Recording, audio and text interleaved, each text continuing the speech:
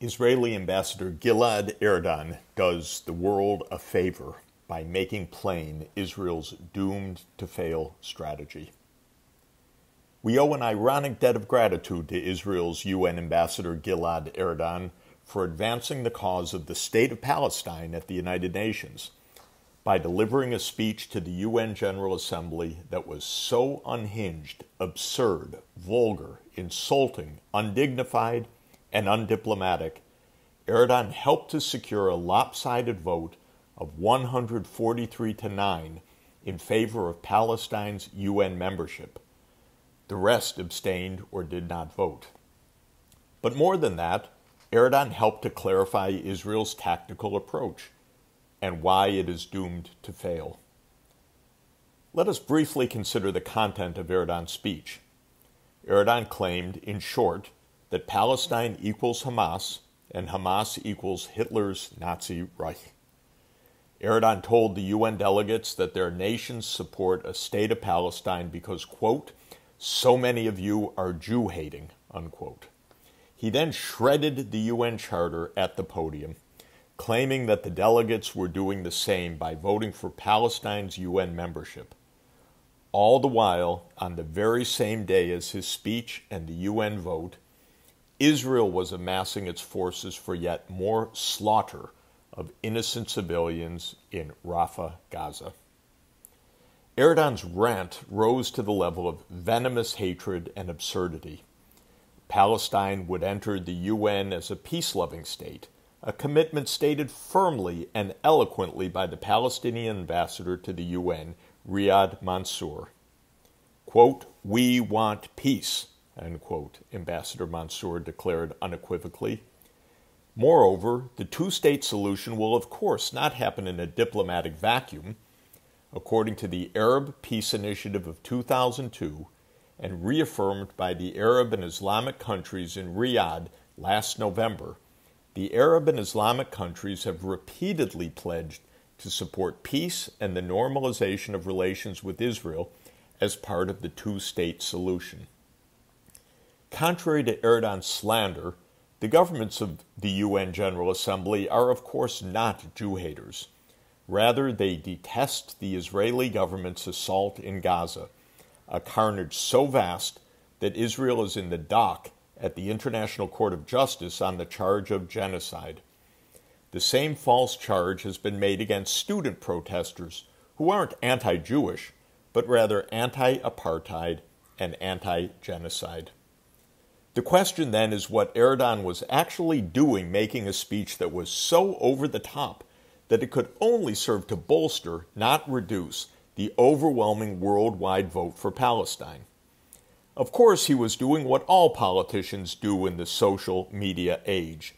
He was grandstanding for his adoring 157,000 followers on X, formerly Twitter, and for supporters in Israel's right wing Likud party. At first, when listening to Erdan, I simply thought that the man was deranged, suffering from post Holocaust trauma and seeing a Hitler lurking in every shadow. Yet such a view is naive. Erdan is a highly experienced political figure, well educated and well trained, and was in full control of a carefully prepared speech, which included a poster and shredder as props. My initial mistake was to think he was speaking to the rest of the UN ambassadors and to viewers of the proceedings, such as myself. The great difference of broadcast era politics of yesteryear and the social media era of politics today is that politicians no longer speak to the broad public. They now communicate almost entirely with their base and their near base. Each person today receives a personalized flow of, quote, news that is jointly constructed by individual choices, that is, which websites we visit, networks of digital followers, algorithms of platforms such as Facebook, X, and TikTok, and hidden forces that include the intelligence agencies, government propagandists, corporations, and political operatives. As a result, politicians mobilize and motivate their base and little beyond. Erdan, the politician, and his Likud party have been fighting against Palestinians for far longer than Hamas has dominated the politics of Gaza. Indeed, for longer than Hamas has even existed. Erdan grew up inside the Likud party, from its youth wing onward, in a movement that has always stood stridently against a Palestinian state and the two state solution. In fact, Likud has long treated Hamas as a political prop, a ploy to divide the Palestinians and thereby to fend off international calls for the two state solution. As even the Israeli media report, Likud leaders worked with Arab nations over the years to keep Hamas funded so that it would pose a continuing competition to the Palestinian Authority.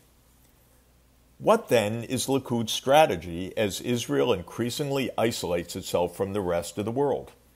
Here, too, Erdan's own political past offers a clue.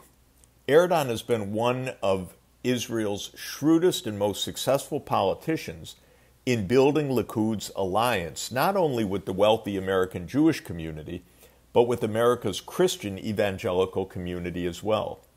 The Christian Zionists ardently back Israel's control over the Holy Land, albeit as a prelude to their Armageddon not exactly Likud's longer term agenda. Likud's tactical belief is that the U.S. will always be there, thick or thin, because the Israel lobby, Jewish and Christian evangelicals alike, and the U.S. military industrial complex will always be there. Likud's bet has always worked in the past, and they believe it will work in the future. Yes, Israel's violent extremism will cost Biden the support of America's young voters. But if so, that will just mean Trump's election in November, so even better for Likud.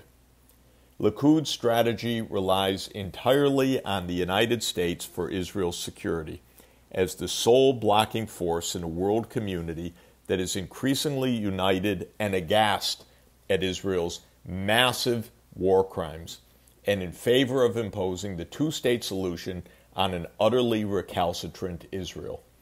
Yet, core U.S. interests, economic, financial, commercial, diplomatic, and military, are at odds with becoming isolated along with Israel within the international system.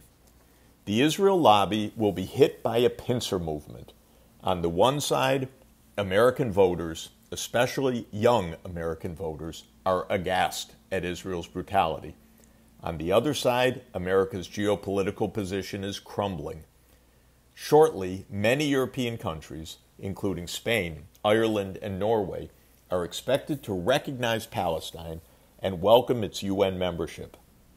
Erdan may end up at the top of the heap of the Likud party, but Likud and its extremist and violent partners in the coalition are likely soon to hit the limits of their arrogance, violence, and cruelty.